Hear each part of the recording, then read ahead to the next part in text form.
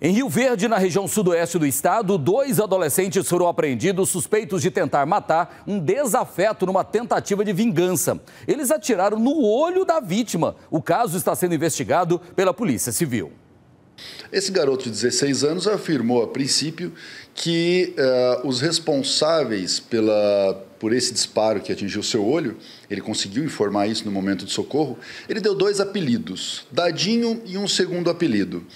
Com base nesses dois apelidos, a Polícia Civil começou a fazer levantamentos e, e, levantou, conseguiu descobrir a identidade de quem eram esses dois responsáveis, dois menores de 17 anos.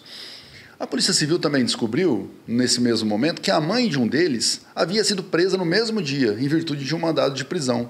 A polícia esteve no local, cumpriu o mandado de prisão e o menor estava lá, logo após ter feito essa tentativa de homicídio.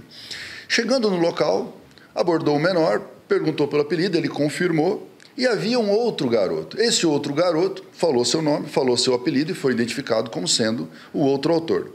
Ambos confessaram que no dia, naquela noite, um conseguiu uma moto, o outro conseguiu uma arma e decidiram matar uh, o Christian, esse garoto de 16 anos, porque ele teria, no, na cabeça deles, no juízo deles, esse menor, o Christian, que levou o tiro no disparo no olho, teria um envolvimento com uma tentativa de homicídio ocorrida com um amigo deles no final de semana anterior. Isso não está demonstrado no inquérito. O inquérito que apura essa tentativa de homicídio anterior não tem nenhuma vinculação com o nome desse garoto de 16 anos. Entretanto, esses dois jovens de 17 anos resolveram com uma arma e uma moto, resolveram matá-lo. Chegaram até a casa da avó dele, chamaram por ele e efetuaram disparos muito próximos a ele. Um deles atingiu o olho do, do menino, que foi socorrido uh, com vida e não corre risco de morte.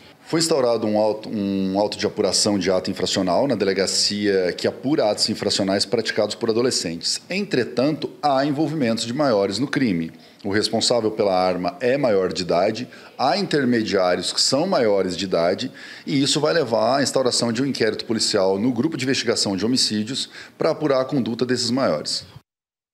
Olha aí a, a, a, violência, infelizmente, aí é, é, atingindo essa juventude. Agora, mãe e filho presos, hein? Que coisa.